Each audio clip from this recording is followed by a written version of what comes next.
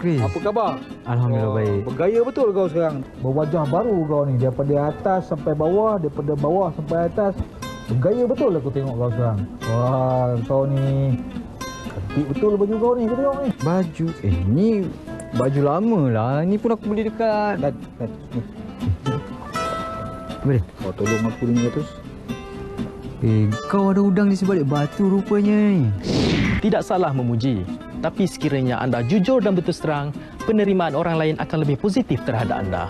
Ingat, fikir dahulu sebelum anda lakukannya. Mesej ini disampaikan oleh Berita RTM.